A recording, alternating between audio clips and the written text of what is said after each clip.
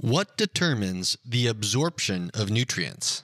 Hi, I'm Chris Masterjohn, and I have a PhD in nutritional sciences. I am not a medical doctor, and nothing contained in this episode may be construed as medical or nutritional advice of any kind or a substitute therefore.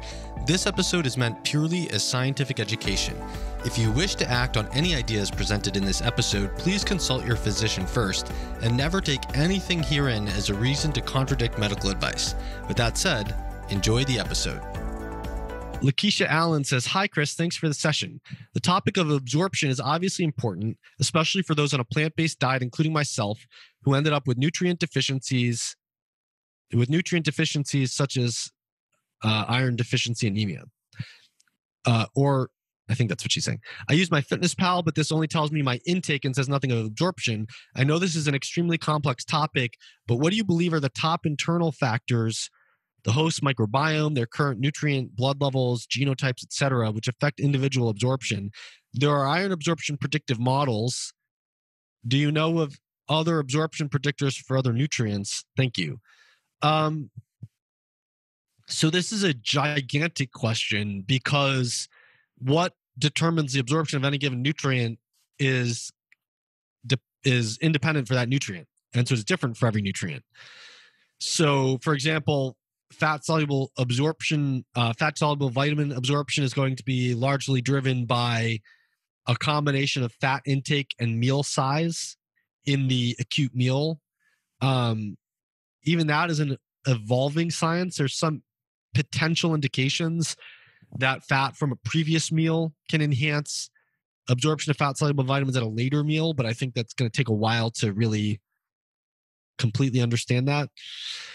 Um, for zinc, there are also predictive models, and they're based mostly on phytate. It's a less complex model than iron because phytate is so singularly important with zinc.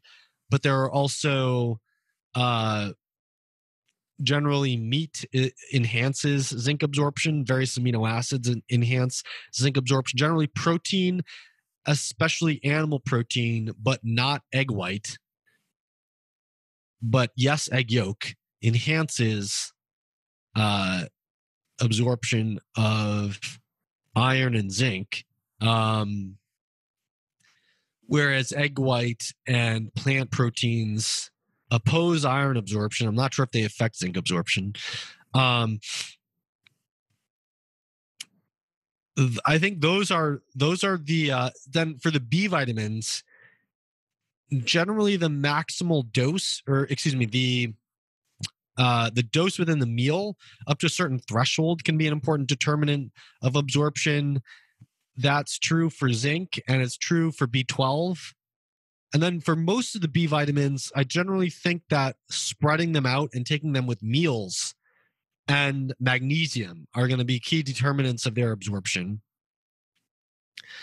Um, and then there's going to be a lot of other factors that are some, you know, sometimes um, too much. You know, generally, I don't think mineral mineral interactions are that important when they're all at the same scale but too much calcium at a meal has the potential to inhibit the absorption of many of the other things in the meal.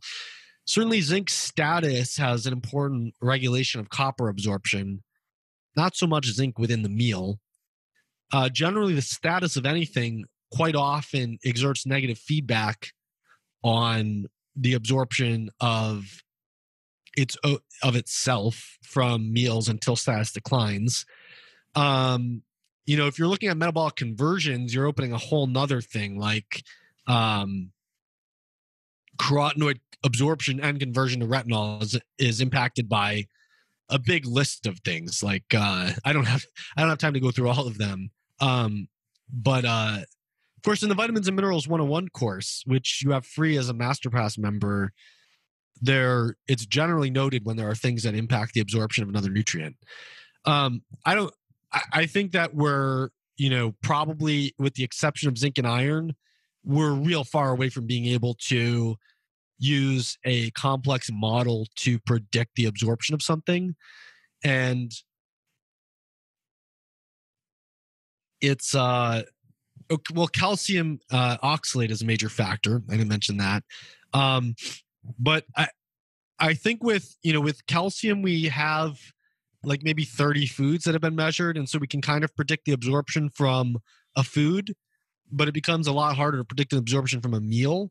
I think iron just because uh world you know globally because iron and zinc are so uh, have such prevalent deficiencies that there's been a lot more work on trying to model absorption and we just don't have that level of data to drive modeling of absorption of other nutrients in an accurate way.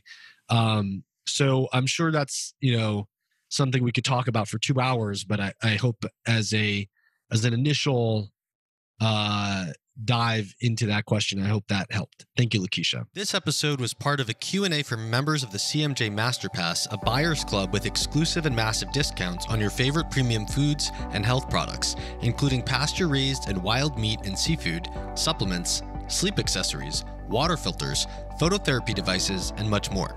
As a bonus, you also get to participate in monthly private Zoom Q&As with me. You can join the Masterpass at chrismasterjohnphd.com slash masterpass and use the code Q&A, spelled out as Q-A-N-D-A, Q&A, for a 10% lifetime discount. For the remainder of 2020, I will be working full time on finishing my Vitamins and Minerals 101 book while reserving a portion of my time for consulting clients. You can pre-order my book at chrismasterjohnphd.com/book. In my consulting, I am neither a medical practitioner nor a coach. I serve as your data analyst and your strategist. I teach you scientific principles of health and wellness, help you analyze your data, and help brainstorm actionable strategies. You can sign up for a consultation at chrismasterjohnphd.com slash consultations. I will try to respond to comments here when I can, but my presence will be intermittent while I'm finishing my book. I hope you enjoyed this, and I will see you in the next episode.